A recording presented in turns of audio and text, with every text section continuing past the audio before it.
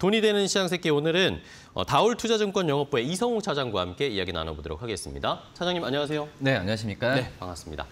자, 차장님 일단은 오늘은 좀 오늘 시장에 대해서 좀 정리를 부탁드려야 될 것 같아요. 뭐 앞서서 말씀드렸지만 중간 선거도 체크를 해봐야 되고 기업 실적도 여러 가지가 나오고 있고 시장에 영향을 주는 요소들 어떤 것들 보면서 저희가 남은 시간 좀 정리를 해야 될까요?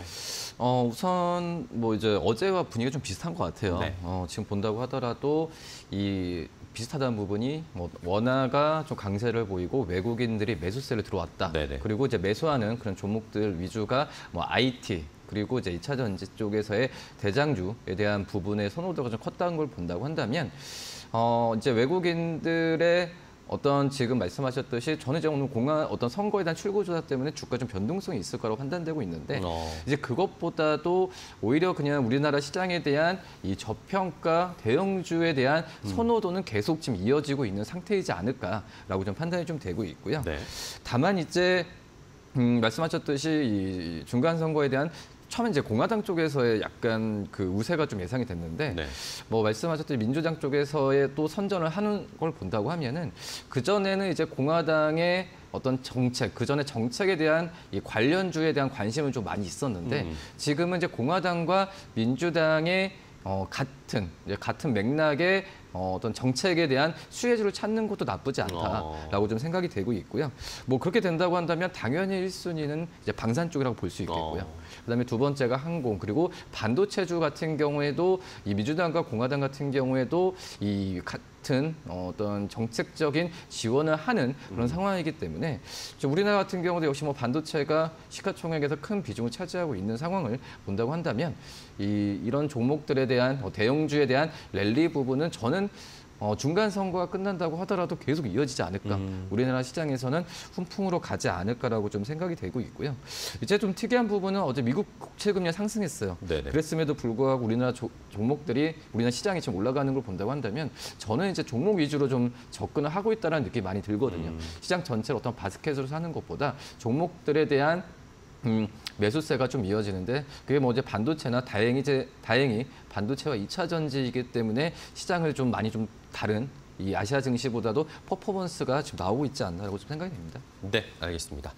자, 말씀해 주신 것처럼 어쨌든 뭐 중간 선거 미국의 중간 선거 결과 저희가 뭐 공화당이 승리했을 때 우리 시장에 조금 도움이 되는 것들을 더 집중하자라는 그런 의견들이 어제까지는 계속 있었는데 말씀해 주신 것처럼 어쨌든 민주당 공화당이 좀 공통적으로 겹치는 정책이라든지 겹치어서 비슷하게 추진하고 있는 어, 정책이나 이제- 이 아- 아젠다들을 좀 살펴봐야 되겠다라는 의견을 주셨습니다.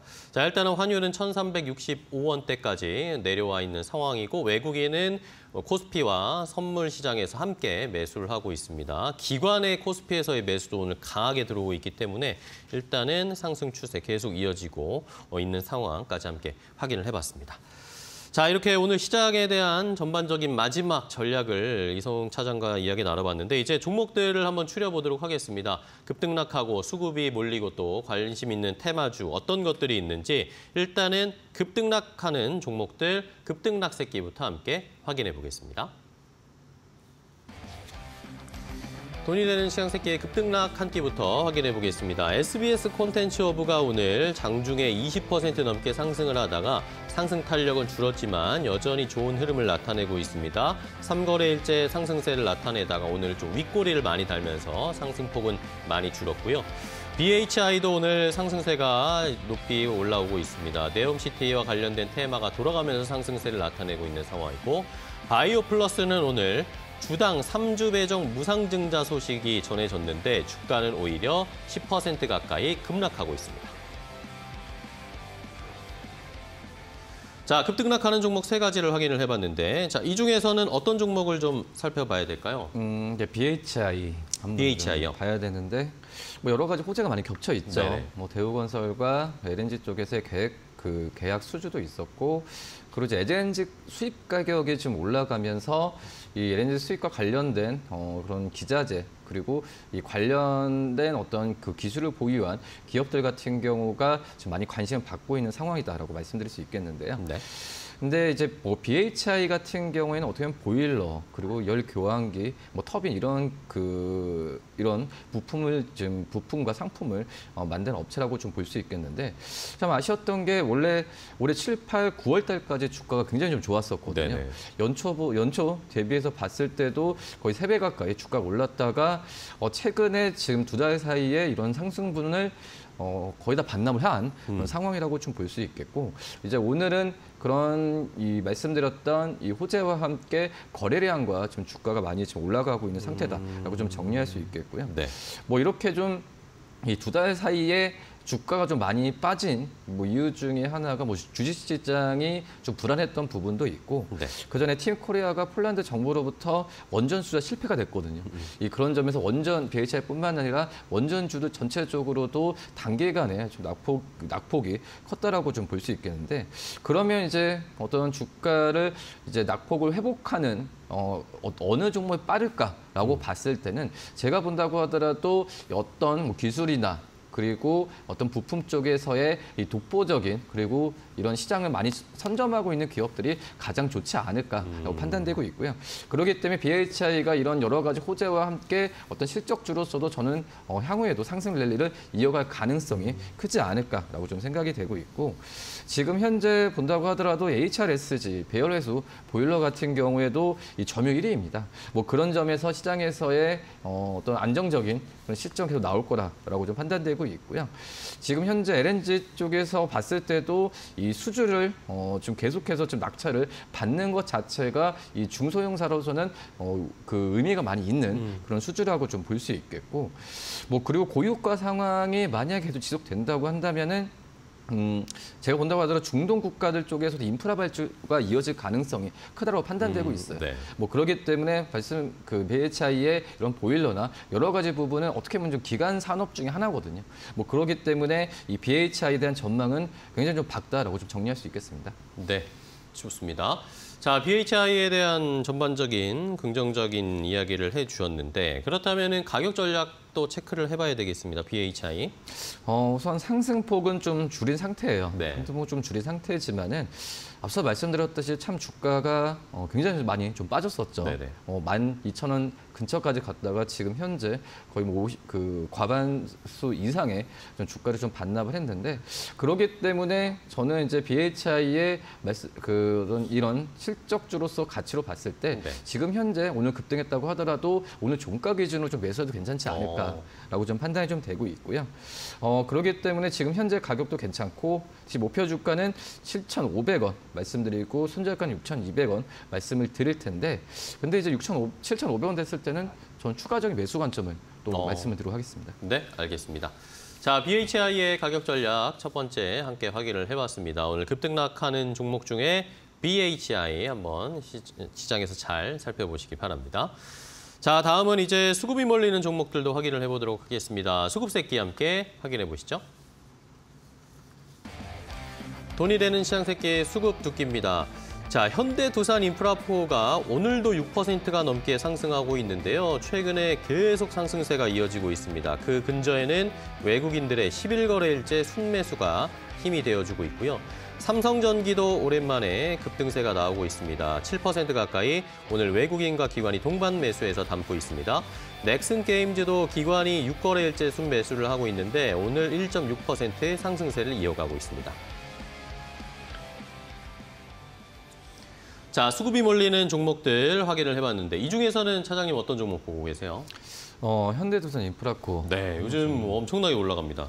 근데 이제 이렇게 올라가는 이유가 어떤 테마가 아니라 네, 실적에 대한 기대감이죠. 그렇죠. 뭐 그런 상황이기 때문에 이렇게 주가가 올라갔을 때는 만약에 테마로 좀 올라갔다고 한다면 음. 어 제가 본다고 하더라도 매수하기 좀 약간 그러겠죠. 그쵸. 하지만 이 실적주로서 좀 다시 각광을 받고 있는 상태에서 어 가는 걸 봤을 때는 어 좀그 너무 따라잡는다는 것 따라 서 매수한다는 것보다도 가는 말이 올라타도 괜찮지 않을까라고 어. 좀 생각이 되고 있고요. 지금 이제 뭐 두산 인프라코 2020년에 이제 두산그룹에서 현대중공업 그룹으로 지금 바뀌었잖아요. 네, 근데 이제 우리나라 건설기계 쪽 시장은 이 현대 두산 인프라코랑 또 현대 건설기계 그리고 이 볼보가 거의 뭐 삼강 체제를 가지고 있거든요. 네. 뭐 하지만 이 지금 현대 거- 중공업에 편입이 되면서 현대 건설 기업과 함께 옛날에는 뭐 어떤 경쟁 상대가 아니라 지금 어떤 구조적으로 봤을 때도 더욱더 이제 그 그룹사 쪽으로 봤을 때는 시장 캐파를 키우는 상황이라고 지금 말씀을 드릴 수 있겠고요. 네. 어 그리고 현대 두산 인프라코가 어 어떻게 보면 그 중국 관련주로 많이 인식을 많이 돼 있잖아요. 두산 인프라코 하면서 이 중국과 가장 밀접한 이 종목 중에 하나가 이 두산 인프라코였는데 음. 하지만 지금은 어 과거에는 비중 40%까지였지만 지금은 이제 한 12%까지 떨어졌거든요. 어. 물론 이제 뭐 중국 쪽에서의 어, 셧다운도 있었고 뭐 그런 이제 중국 공장의 어떤 초과 생산분을 다른 해외 쪽으로 판매했기 때문에 이런 좀 비중이 훨씬 확 낮아졌지만 저는 어떻게 보면은 이 중국 업황의 실적이 좌지우지 됐었던 과거에서 탈피했다는 것 자체가 저는 긍정적이다라고 좀 생각이 되고 있고요. 네. 그렇기 때문에 어떤 리스크 부분 자체가 좀 많이 줄어들었고 그리고 이제 뭐 두산 바켓이죠. 두산 바켓에 대한 매출 비중이 점점 커지면서 이 엔진 쪽에서의 그 그 판매가 잘 이루어지는 걸 보면은 뭐 지분법 이익이나 이런 부분 같은 경우에도 충분히 이 현대 두산 인프라코의 재무적으로 많이 도움이 될 상황으로 가지 않을까라고 좀 생각이 되고 있고요. 네. 뭐 지금 현재 증권사들 같은 경우에는 그 전에 뭐 목표 주가를 7천 중반과 8천 원까지 얘긴 상태에서 더 올릴 가능성은 전 있다고 판단되고 있거든요. 뭐 그렇기 때문에 어, 매수 관점으로 한번 접근해도 괜찮지 않을까 생각됩니다. 네, 좋습니다. 자, 현대두산 인프라코가 최근에 뭐 거의 10거래일 가까이 계속 상승세를 나타내고 있는데 뭐 지금도 뭐 따라잡기가 의미가 아니라 가는 말에 올라타는 전략으로 함께 좀 매수를 해봐도 괜찮지 않을까 의견 주셨는데 그럼 가격 전략은 어떻게 세워볼까요?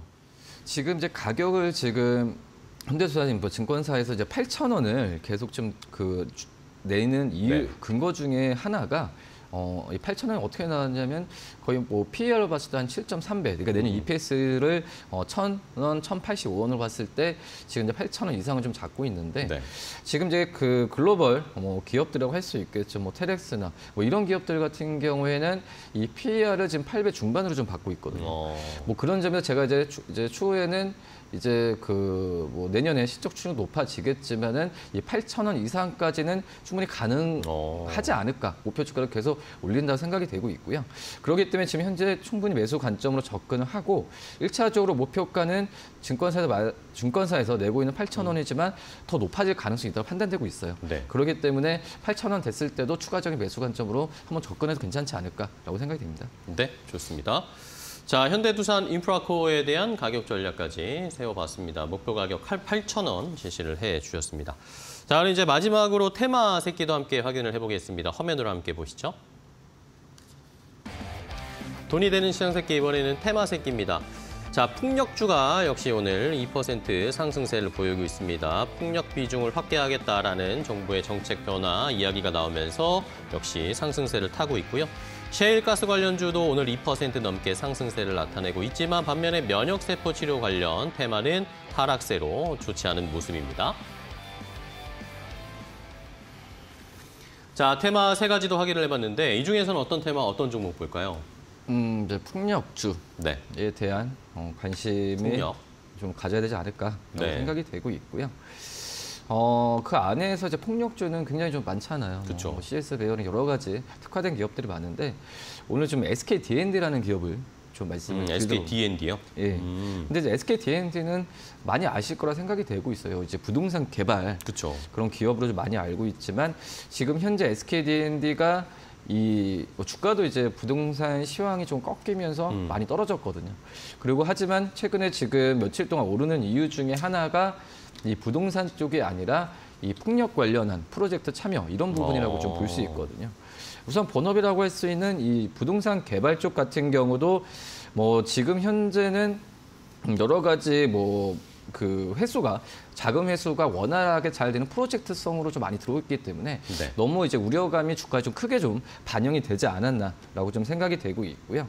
뭐 그런 점에서 봤을 때는 물론 부동산 부분이 실적 기여에 굉장히 좀 크긴 하지만 어 제가 본다고 하더라도 뭐 크게 어떤 우려 하는 것보다도 어좀그 잘 어떤 재무적으로 봤을 때도 잘 될 가능성이 있다고 생각이 되고 있어요. 네네. 뭐 그렇기 때문에 어, 지금 이제 과도한 우려에 의한 저가 매수 관점도 이 부동산 쪽에서의 우려감을 본다고 하면은 가능하지 않을까라고 좀 생각이 되고 있고 이 말씀드렸던 이 풍력에 대한 프로젝트에 대한 부분에 있어서 이 에너지 부분 쪽에서의 그 성장성이나 실적에 대한 어, 개선, 기여도 같은 경우에는 점점 이 분위기가 좀 좋아지고 있는 상황으로 가고 있다라고 좀 생각이 되고 있고요. 네. 또 이제 연료전지 관련해서 실적에 대한 부분이 4분기 때 인식될 가능성이 굉장히 좀 크기 때문에 이 SK D&D에 대한 어떤 신재생 쪽에서의 에너지 쪽으로의 관심을 좀 많이 가져야 되지 않을까라고 좀 생각이 되고 있고 지금 이제 발전 이 자원과 개발 쪽 같은 경우에도 이 캐파를 점점 늘리고 있는 추세라고 좀 말씀을 드릴 수 있겠고 그렇기 때문에 한 매수 관점으로 한번 접근해도 괜찮지 않을까 이렇게 판단됩니다. 네, 좋습니다. 자, SK D&D를 일단은 저희가 뭐 부동산 쪽에만 국한되어 있는 걸로 알고 계신 분들이 많으실 텐데 SK D&D가 풍력 관련 아니면 신재생 에너지 사업에도 역시 최근에 좀 참여를 하고 있다라는 것에 말씀을 강조를 주셨습니다. 그렇다면 SK D&D 어쨌든 가격은 좀 많이 내려와 있는 상황인데 가격 전략 어떻게 잡으면 좋을까요?